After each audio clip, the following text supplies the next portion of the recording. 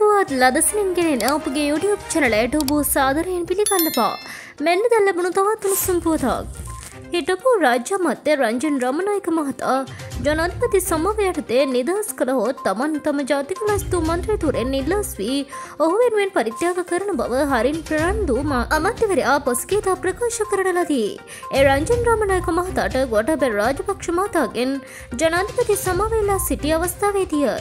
නමුත් වත්මන් ජනාධිපති රනිල් වික්‍රමසිංහ මහතා විසින් ජනාධිපති සමාවයටතේ නිදහස් වී ඇති රංජන් රමණයක මහතා වෙනුවෙන් ඔහු තම මන්ත්‍රී අසුණු පරිත්‍යාග නොකරනු ඇති බවද වාර්තා වෙයි. රංජන් රමණයක මහතා නිදහස් වන තුරු තමන් කළුසාටකයක් පළඳින බවට හරින් ප්‍රනන්දු මහතා කලකට පෙර සඳහන් කළද එම සාටකය ඊට ටික දිනක සිට ඔහු පැළඳීම සිදු කළේ නැත. මේ අතර විපක්ෂනායක සජිත් ප්‍රේමදාස මහතා සඳහන් කරන්නේ තම ජාතික ලස්තු මන්ත්‍රී දුර්වලින් එකක් පුරප්පාඩු වන පළමු අවස්ථාවේම ඒ සඳහා රංජන් රමණයක හිටපු මන්ත්‍රීවරයා පත් කරන බවයි. මෙවැනි උණුසුම් පුවත් ලදසනින් දැන ගැනීමට අපගේ YouTube චැනලය සබස්ක්‍රයිබ් කර බෙල් අයිකනය ක්‍රියාත්මක කරන්න.